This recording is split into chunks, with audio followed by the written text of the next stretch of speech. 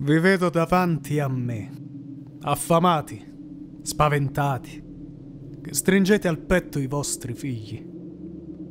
Le legioni dell'imperatore Emir hanno marciato sulle nostre terre, assediando ogni fortezza da qui alle montagne blu. La sua fame non si placa. Uomini del nord, siete sull'orlo del baratro. I vostri re vi hanno abbandonato e ora vi rivolgete agli dei. Perché non vi prostrate? Perché non vi cospargete il capo di cenere? No, no, voi vi lamentate. Perché gli dei ci hanno abbandonato? Pensiamo ai nostri fallimenti, alle prove che non abbiamo superato. Nel passato il nostro mondo si è scontrato con un altro durante il cataclisma noto come congiunzione delle sfere. Gli dei hanno permesso a forze ostili di venire qui a minacciarci. Da quel cataclisma ha avuto origine l'abominio che chiamiamo magia.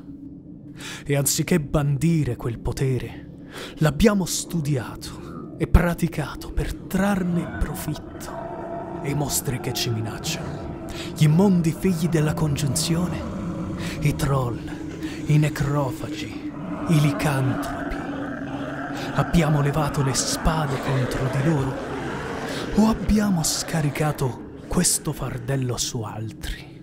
I cosiddetti Witchers.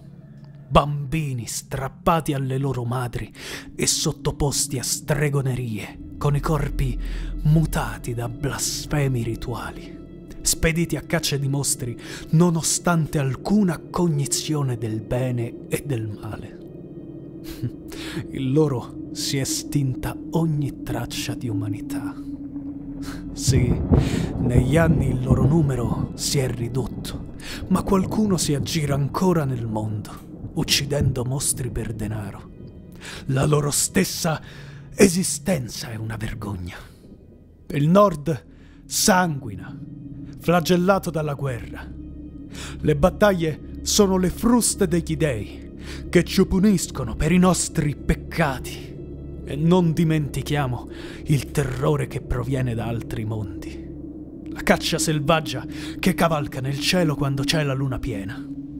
I cavalieri oscuri rapiscono i nostri figli e alcuni dicono che stiano annunciando una nuova congiunzione. Possiamo ritrovare la via della luce. Avremo la forza di cacciare i maghi dai nostri regni ci uniremo nel calore del fuoco eterno.